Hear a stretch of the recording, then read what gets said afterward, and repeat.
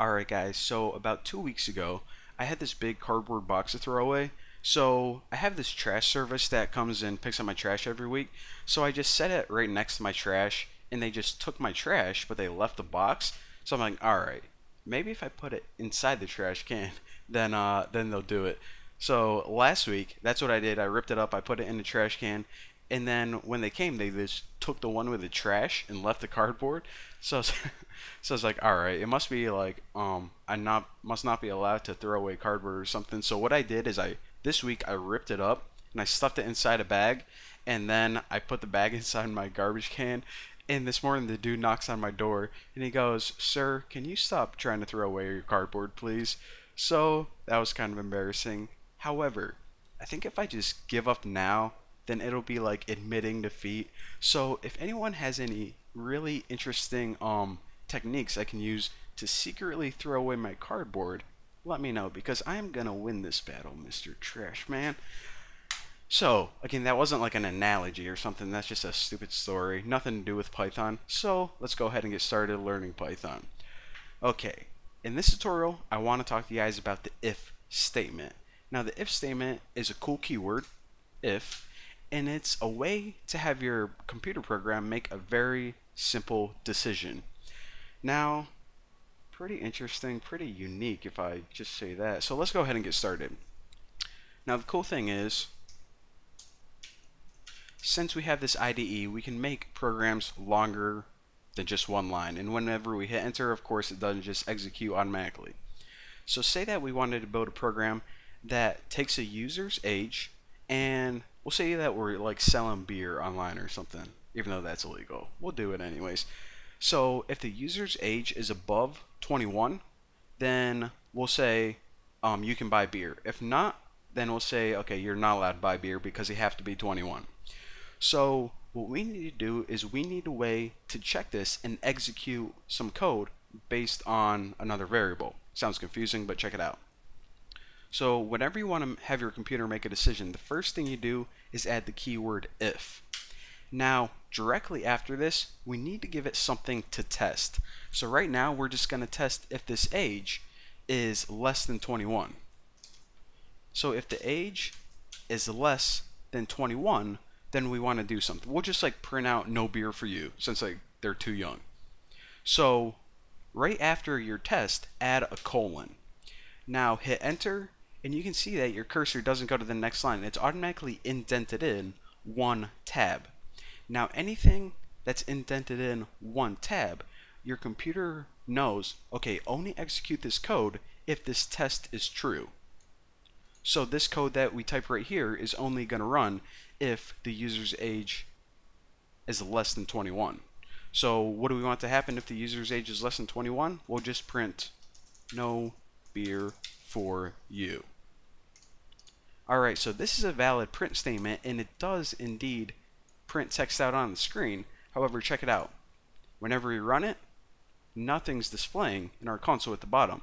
And that's because even though we wrote this line of code, it didn't execute because the age was over 21. So we didn't need to give him this little warning.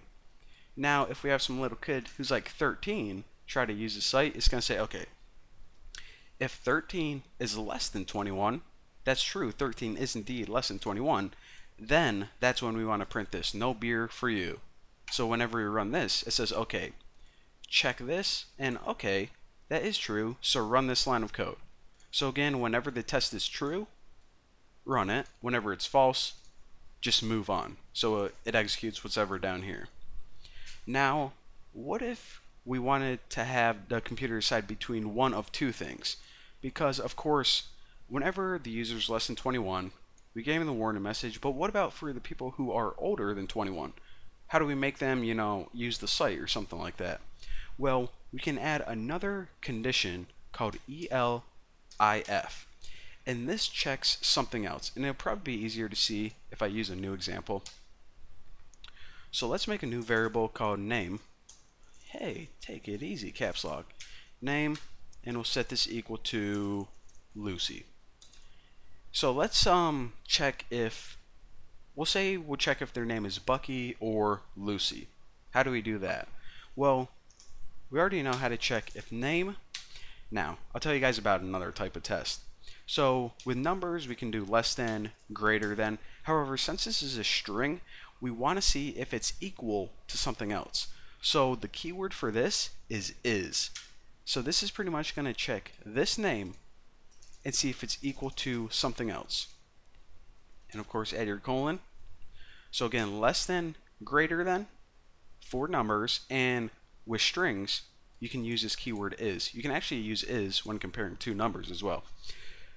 So what we're going to do is say, okay, if the name is Bucky,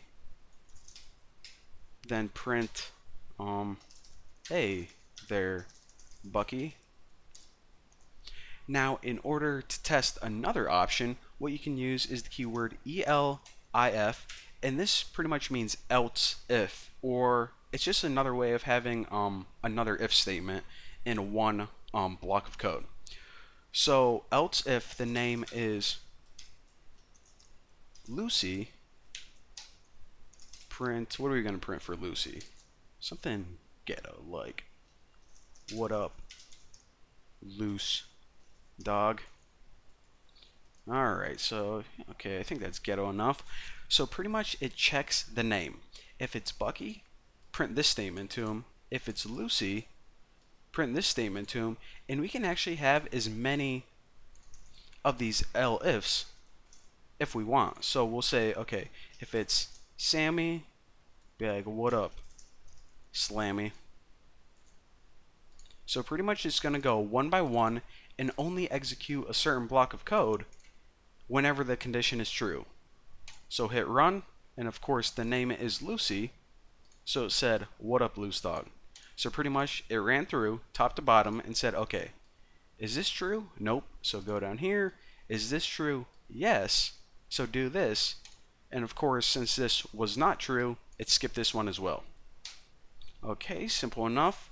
So now we have a way where we not only can make a decision, like in that beer example, but we can also make a decision to decide between more than one option.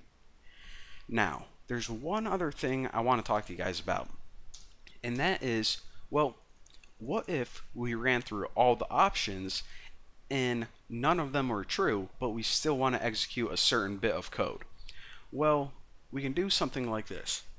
After all of your elifs, you can have one last condition called else. What else means is if you ran through every other option and none of those were true, then do this one. So we can just run something like print. We'll say that this is actually a site, and um, if the user logs in, then we can give them a custom message. And of course, if none of these names are true, then that just means uh, they didn't sign up for the site yet. So, um, please sign up for the site. So of course, with Lucy, whenever you run it, it's going to give her that custom welcome message. However, if we have a new new guy named like Tommy D, what it's going to do is say, are you this user? Nope.